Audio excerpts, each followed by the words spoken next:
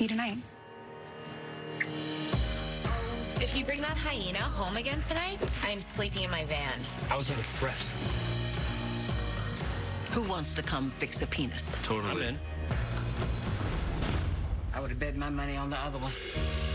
Tumors everywhere. She trusted us. We should be doing everything we can think of. Isn't that what you would want if it were your wife?